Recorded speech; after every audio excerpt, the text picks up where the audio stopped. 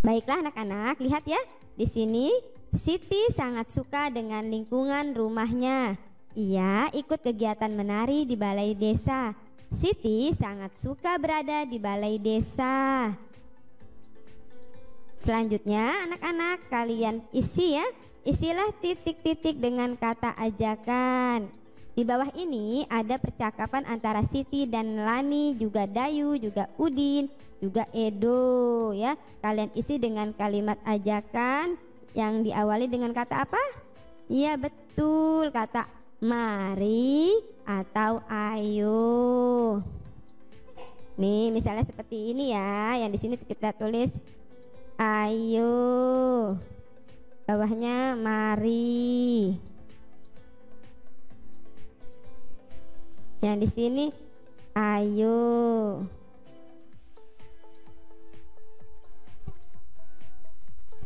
Nah, setelah diisi, kita baca yuk percakapan mereka. Aku suka lantai balai desa, susunan keramiknya indah. Ayo kita ke balai desa, mari amati lantai kesukaan Siti. Maaf, aku tidak bisa ikut. Aku harus menemani ibu ke pasar. Terima kasih Lani, tetapi lain waktu saja aku ikut.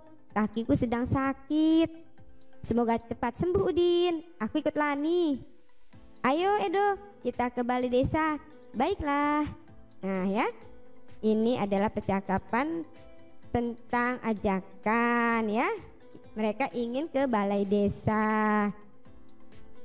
Selanjutnya, ayo menulis. Amati kalimat ajakan dan tanggapan yang tadi kita baca ya. Salinlah pada tempat yang tersedia. Kalian tulis di buku tulis kalian kalimat ajakan dan tanggapannya ya ditulis. Tadi ajakannya seperti apa?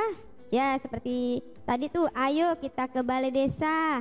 Ya, mari amati lantai kesukaan Siti. Ditulis ya tanggapannya juga. Maaf, aku tidak bisa ikut. Nanti kalian cari lagi. Lalu, lihat ya, bagaimana hasil pengamatan Lani. Tuliskan bentuk bangun datar pada lantai kesukaan Siti. Apa ya anak-anak? Ini? Iya, persegi dan ada yang panjang juga nih dan persegi panjang. Jadi bentuk bangun datarnya di Balai Desa Kesukaan Lani adalah persegi dan persegi panjang. Oke ya.